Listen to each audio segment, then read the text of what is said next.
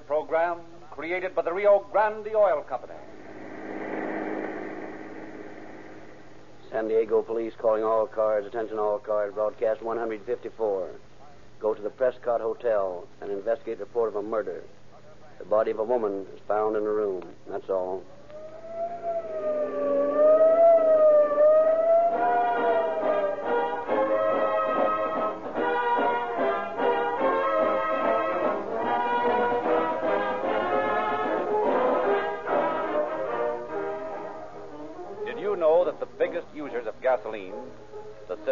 County purchasing departments, make scientific tests before they specify a gasoline for use in their great fleets of emergency equipment?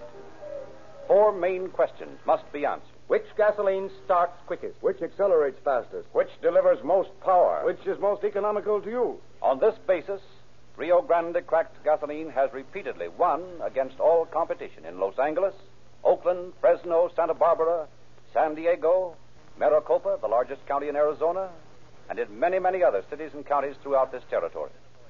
This success is due primarily to the Sinclair cracking process. From one of the world's most modern refineries comes this balanced gasoline. Rio Grande cracked with tetraethyl. First, quick stopping. Second, fast acceleration. Third, surging power. Fourth, mileage. These are the factors that cause Rio Grande cracked gasoline to be used exclusively in so many, many police cars, fire engines, ambulances, and other emergency equipment. These are the factors that give police car performance. Try Rio Grande cracked gasoline in your car. Do this tomorrow.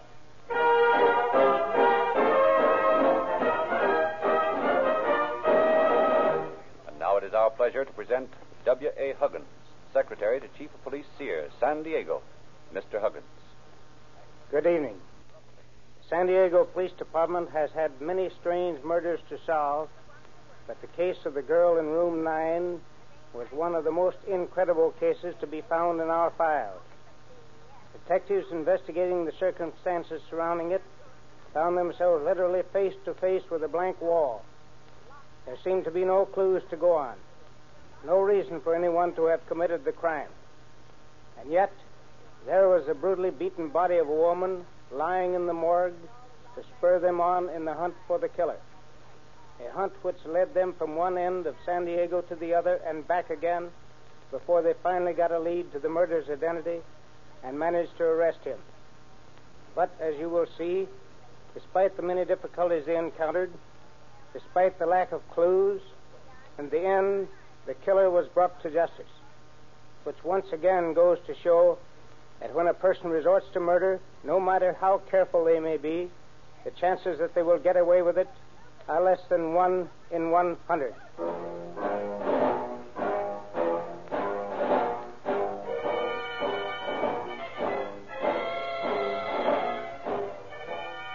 San Diego, May 15th, 1918. The year that is to write Venus to one of history's bloodiest chapters, the war to make America safe for democracy. From every state west of the Mississippi River, a solid line of men pour into the training camps, the good and the bad, the rich and the poor, all reduced to one common denominator in the final desperate drive to meet war's demands more men, more arms.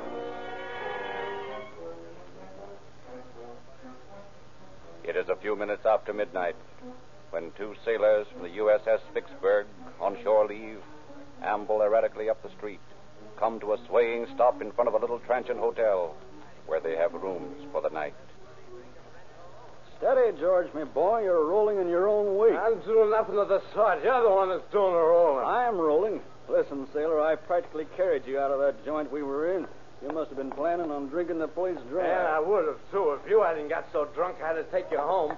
What do you think of that, huh? What do you think of that? I think maybe we better go in the hotel before we get thrown in the brig. That's what I think. That's a good idea. Come on.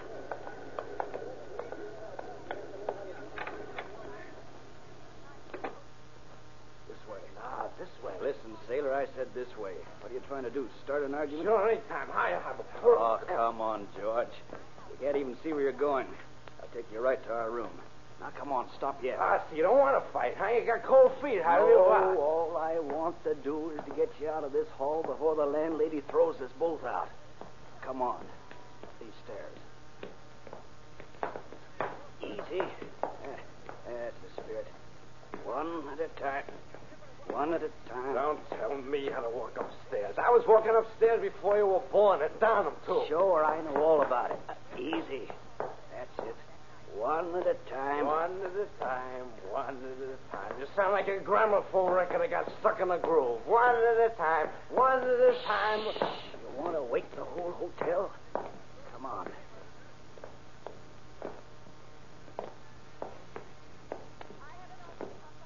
Here we are. Room eight. Oh, no, room nine's the one we're in. Now listen, George. What do you want to be so stubborn for? I know what room we're in, and it's eight. Nine, nine, nine, nine, nine, nine, nine, nine, All nine. right, but shut up. It's room nine. Sure, room nine, but shut up.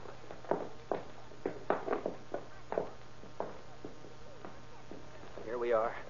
Now see if you can stand up till I get the door open. Sure, I can stand up. Why wouldn't I be able to stand Quiet. There. Come on. I'll turn on the light. I can't see in the dark. Only owls can see in the dark. All right, wait a minute.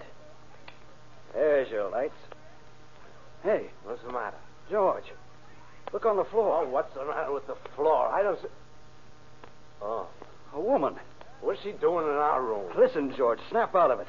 This woman's dead. Dead? Yeah. Look at her throat. Somebody's murdered her. Murdered? Let me see. Look at those finger marks on her neck. Looks like she'd been strangled. Yeah. Hey, look out. What are we going to do? We got to let someone know. Maybe they'll think we did it. That's why you got to sober up fast. Well, don't worry. I'm sober right now. Then come on. We got to report this to the landlady.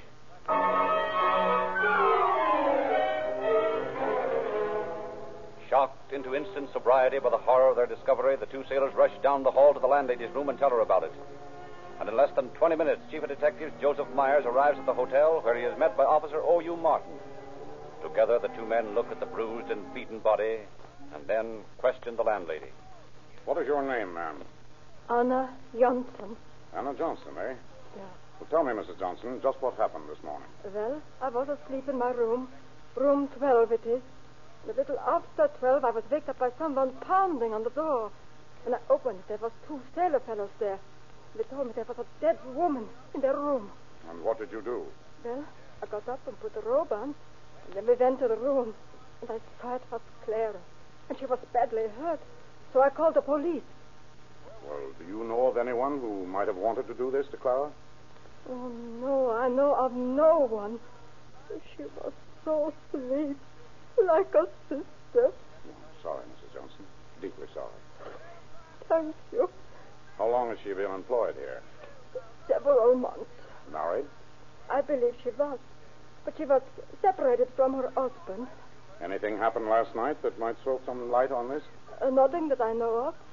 I came home from a show, and Clara had company. A girlfriend and her sweetheart. Oh, they was good friends of Clara's. No chance of their doing this, eh? Oh, no, they was her best friends. Well, what happened then, Mrs. Johnson? Well, they went home about 10 o'clock, and Clara and I had a little food to eat, and I went to bed. Clara came to my room because I had a headache, and she brought me some aspirin. Then she left for her room, and I went to sleep. The first thing I remember after that was the sailor boys waking me. And that's all you can remember? Yeah. Well, thanks a lot, Mrs. Johnson. Don't let anybody touch that body, Sergeant. I'm going down to talk to those sailors.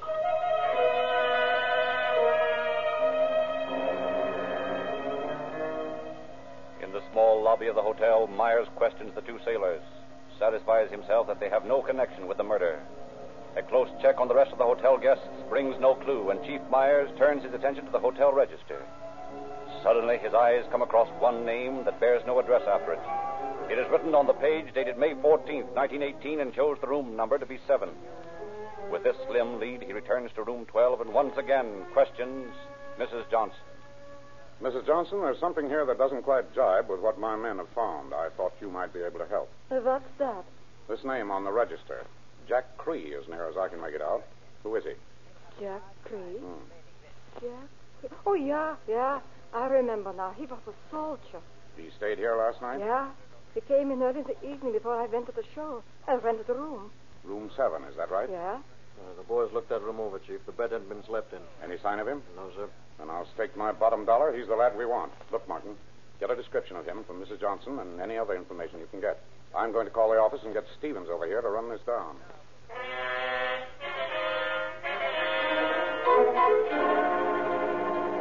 A telephone call to the police station results in the arrival a short time later of Detective H.C. Stevens, who, after learning all he can from Chief Myers, takes charge of the investigation. His first move is to re question Mrs. Johnson. There's very little doubt in my mind about this Screefellow's having done the job. The only trouble is, who is he and where is he? You've got to help us in answering those questions, Mrs. Johnson. All right. I guess I will have to tell you then. But I had hoped this wouldn't be necessary. What do you mean by that? This soldier, the one you was asking about, he did something that I didn't want to tell. He followed me into my room last evening after I had showed him his. he began to act terribly. He he tried to make love to me. What did you do? I told him he couldn't behave that way in this hotel and forced him to leave. He called me a dreadful name as he went down the stairs. A terrible name. Hmm. Was the last time you saw him? Yes. Martin. Chief Myers told me you have a description of the man. Is that right? Yes, sir. I just got it from Mrs. Johnson. There you are. Oh. Approximately 33 years old, dark complexion, 5 feet 7 inches tall. Not much to go on with about a 100,000 men in uniform in San Diego alone. Pretty slim. Uh, what about this girl that was killed? She ever had any trouble with any soldiers or sailors, Mrs. Johnson? Well, wha- yeah, once she did. A few weeks ago, four soldiers from Camp Kearney was here, and they accused her of having stolen forty dollars from their room. The military police who came to investigate told me later that the soldiers had lied. That's all. I see. Thanks a lot, Mrs. Johnson. Yeah. I guess there's nothing more we can do here for the time being. Keep an eye on things, Martin, while I do a little canvassing of the neighborhood hotels. Pretty thin lead, but this Cree fellow might have stayed somewhere around here after he got through his dirty work. We're following up anyway. I'll be back later.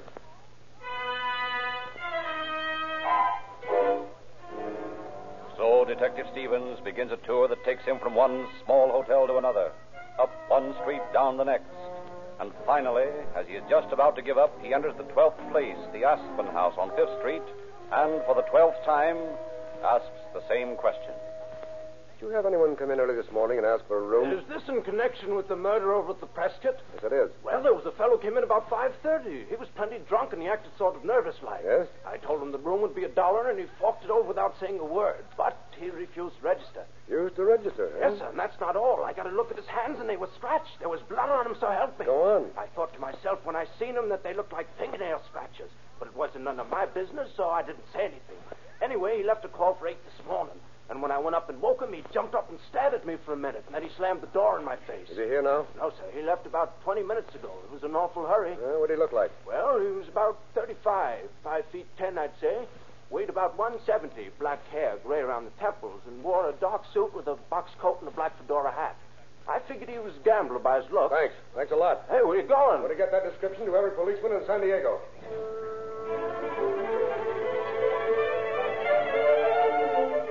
Thus, the first real clue of any importance, and the start of a sweeping dragnet of San Diego. Police bulletins describing the mysterious Jack Cree are issued to every man in the San Diego Police Department, to all bus and train station officials, with orders to arrest and hold if located. And while every available officer in the city looks for the fugitive, Detective Stevens pays a visit to the four soldiers who had claimed the murdered woman had robbed them. And though he exhausts one clue when he finds their alibi perfect, stumbles onto another that sends him to the naval training camp at Balboa Park, where he interrogates one of the sailors. I understand that you're a friend of Ed Bolus. Is that right? Yeah, I know him. How well? Well, we went around together a good bit. Guess I know him as well as anyone. Well, tell me something. How did he and Clara Miner get along? Mm-hmm. What do you mean? Did you ever have any trouble? Well, I. Here. Have a cigarette. Oh, thanks, I will. All right. Keep the pack. Plenty more where they came from. Oh, thanks. Cigarettes are pretty scarce out here these days. Yeah, I figure they were. How about Ed and Clara? How'd they get along? Well, they they had a little trouble. You know how it goes, another woman and all that. Ed was engaged to Clara, but he, he sort of fell for this Mary Bedford. Well, it's quite a mess. Well, what happened? Well, this Bedford woman got jealous of Clara and tried to commit suicide. And then when it didn't work, she told Ed he'd better watch his step or she'd make a good job of it next time and kill both of them. I see. You know where this Bedford woman lives? Yeah, I... Yeah. I'm afraid I've talked too much right now. Wait a minute. You don't want to shield a murderer, do you? Well, of course not. What are you talking about? Talking too much already. I guess I didn't realize what I was saying. That's the ticket. Where does she live? Over at the Hotel Dinsmore. You know, it's in the same block as the Prescott. Yeah, an odd coincidence, isn't it? Bolus would like to get rid of Clara because she was an obstacle. Mary Bedford would like to do the same because she hated Clara. She lives in the same block Clara was murdered in. I'd say quite a coincidence.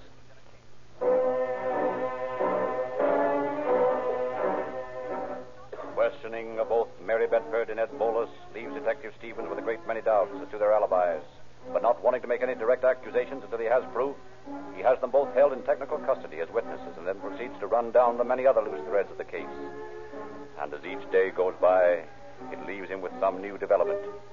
He learns that the janitor of the hotel, a man with a past record, has been missing since the morning of the murder. And immediately word is flashed over the police communication system to be on the lookout for him. Several men are paraded before the landlord of the Aspen House and promptly released when he fails to recognize any of them.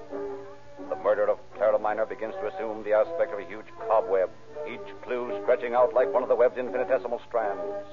And at last, with hundreds of leads to run down, each one vitally important to his case, Detective Stevens talks to his superior, Detective Inspector Paul J. Hayes, and requests another man to assist him.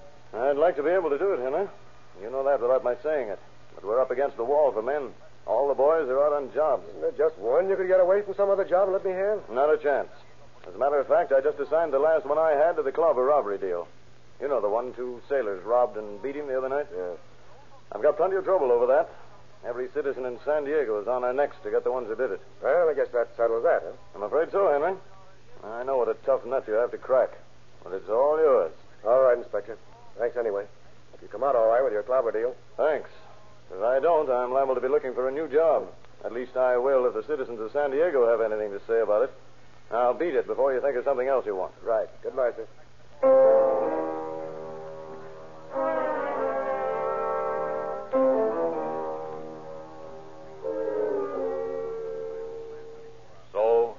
Stevens carries on his investigation alone. One by one, he eliminates his leads. Patiently, he wades through the mass of information he has gathered, checking this item, throwing away that item. And when he has checked every known point against the other, he finds himself with at least three possible suspects Edgar Bolus, the ex convict janitor, and the mysterious missing soldier, Jack Cree.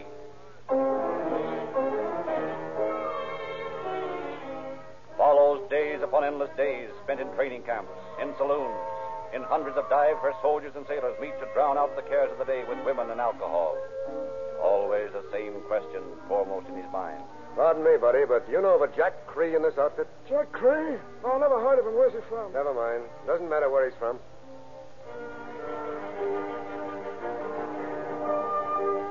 Oh, Steve. Steve, you happen to know of a soldier by the name of Jack Cree? Nah, I make it a habit not to know soldiers' names. Sailors neither, for that matter. As soon as they get to know you too well, they start asking for drinks on the cuff. It ain't good business.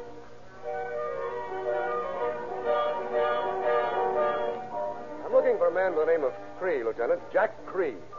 Do you happen to have one in your outfit with that name? Sorry. There's no one by the name of Cree in the 40th Division. Was there anything else? No. Thanks anyway. I hadn't figured there would be. So it goes, day after day, night after night, and still no sign of the missing man. Days drag on into weeks, weeks into months. The Clara Minor case fades from the front page of the papers. The outraged citizenry of San Diego gradually forgets that there ever was a girl named Clara Minor. Forgets that there ever was a Clobber robbery case. But Detective Stevens remembers. Never does he slacken his vigilance for a moment, and time passes. February 1st, 1919. Nine long months since the brutal murder in room 9. In the office of Captain Frank McGraw of the United States Intelligence Service, a captain of the guard stands. Two young soldiers from Camp Kearney in his custody. Sergeant Kelly, sir. Reporting with Privates Willis and Waterman. All right, men, relax. Thank you, sir. So you're Willis and Waterman, eh? Tom Willis and Alan Waterman, is that right? Yes, sir. Well, men, we've caught up with you at last. And that's going to be pretty tough on both of you. What do you mean by that, sir? You know only too well what I mean, Waterman. That watch you men pawned has turned up in Oklahoma. And it was pawned there by a girl who was a sweetheart of one of the boys in the 21st. You're from the 21st, are you not? Yes, sir, but I don't know nothing about no watch. Well, how about you, Willis? Your memory any better than your buddy's? No, sir. I don't know what you mean, sir. I, I never pawned a watch anywhere. That's right. You didn't pawn it. But one of you gave it to a girl, and that girl made the break. Now, how about it? You don't know nothing about it, Captain, and I don't know neither. Afraid he might spill, eh, Waterman? Well, I think you're right about that.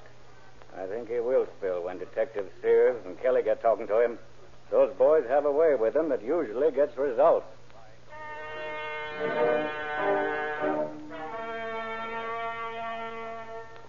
And a short time later, detectives George Sears and Harry Keller join Captain McGraw in his office, where they're informed of the results of his questioning. Realizing that the younger man, Willis, is almost ready to talk, they have him brought in without Waterman. Sit down, Willis. I want to have a little talk with you. Yes, sir. You're uh, pretty young, aren't you, Willis? Yes, sir. I guess so. About 16? 17, sir. Young looking for his age, isn't he, Captain? Yeah. Pretty nice looking, too, for a boy who'd go around robbing people. You know, I don't think Willis planned that deal, Captain McGraw. I have a pretty good hunch that his pal cooked the whole thing up and got him mixed up in it. Now, how about that, Willis? Isn't that what really happened? I, I don't know what deal you mean. Why, sure you do. You remember old man Clobber, the fellow you and Waterman beat up and robbed? That's where you got the watch. I didn't hit him. Oh, Waterman did, huh? Now then, why don't you tell us all about it? Might just as well, you know. Might go a little easier on you if you came clean. I'm afraid of what Waterman would do. Well, you needn't be. Detective Sears has enough on him right now to send him up for a nice long stretch, even if he never talks. So you can tell him anything you want to. Is that right, Lieutenant Sears? That's right, Wallace. Then I'll talk. I'll tell you the whole thing. Waterman and I did do the job. But I didn't want there to be any violence. He told me we'd just stick a gun in the guy's ribs and take his money away from him. Honest, I didn't have anything to do with the beating end of it. I even tried to stop Ellen when he started hitting him. So the young soldier, 17 year old Willis, cracks under the skillful questioning of Detective Sears and Captain McGraw, blurts out the whole story while a stenographer takes it down in shorthand. And when he is finished, Detective Sears realizes that his long job is done. The Clobber robbery is solved. Then, suddenly, as Willis is about to leave the room, he turns, looks back at the two men for an instant, and then. Captain McGraw, Yes, Willis? there's something else I'd, I'd like to tell you, too. Something I've got to tell you. All right. Start in. Waterman killed that woman over at the Prescott Hotel. He came back to camp the next morning and told me so. He showed me his hands. They were all clawed up. I had to tell you, Captain. I couldn't hold it any longer. It, it was burning a hole inside of me. I had to tell you. Convinced by the youth's sincerity that he is telling the truth, Detective Sears immediately phones Stevens, tells him to come out at once. And in less than 20 minutes, the police car screams to a grinding stop outside. Detective Henry Stevens rushes into the office. Well, what's up? Hello, Henry. I think we got the lad who killed Clara Mann. What? Yep. He and another lad are the two that pulled the Tonga job. Just a few minutes ago, the younger one cracked and voluntarily told us that his partner, Waterman, had done the Prescott job. Is Waterman here? Right in the next room under guard. Well, hang on until I get back. Listen. Have a line of men with this Waterman among them, will you? I want a positive identification.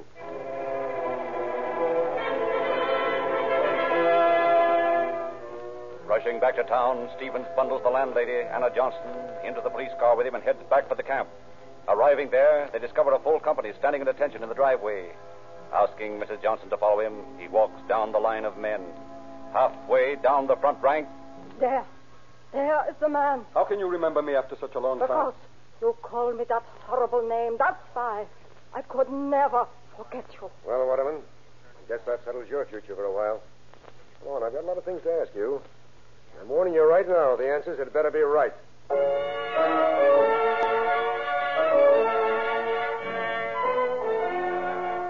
But Alan Waterman refuses to talk.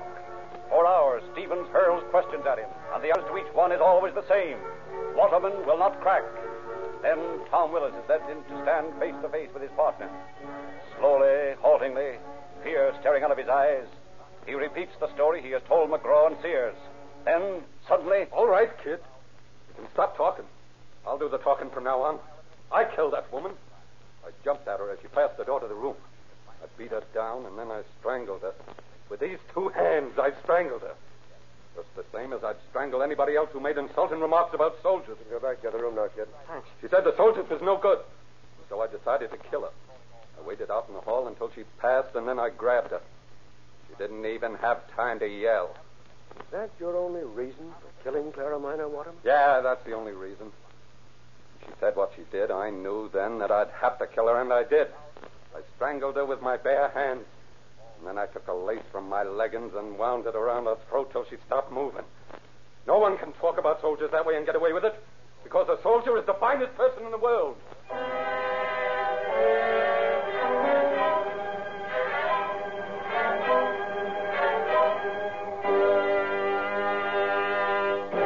And now it is our pleasure to present District Attorney Thomas Whelan of San Diego. Mr. Whelan.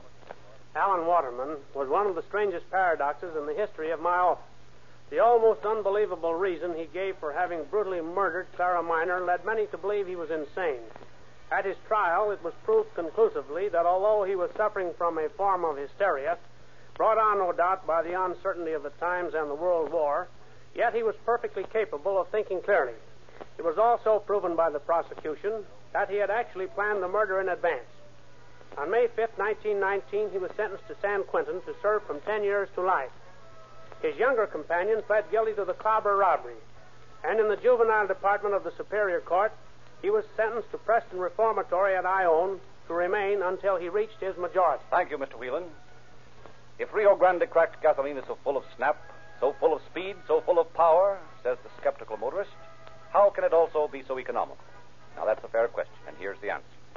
By the patented Sinclair cracking process, gasoline is so thoroughly broken up, that is, so thoroughly cracked, that every possible atom of energy is available for instant combustion. No unburned gasoline drips down your cylinder walls. No raw gasoline escapes through your exhaust. More of each gallon is turned into power. That's why Rio Grande cracked gasoline is more economical. And that is also why Rio Grande gasoline powers more police cars, fire engines, ambulances, and other emergency equipment wherever it is sold than any other brand. Parallel in importance to the Sinclair cracking process for gasoline is the refining process used for Sinclair motor oils. Here it is a case of doing the same job as others, but doing it better. Sinclair Pennsylvania and Sinclair Opaline are thoroughly de-waxed and de-jellied. They flow more freely, stand up under harder abuse, and last longer. Therefore, they make your car last longer. Go to your nearest Rio Grande independent dealer tomorrow and try a crankcase full. And be sure to get a copy of the latest Calling All Cars news, thrilling detective stories, radio and movie news, and free gift news for the youngsters. All about the free Junior Detective and G-Man outfits. How you can get a dozen different free gifts just by using a few gallons of Rio Grande cracked gasoline.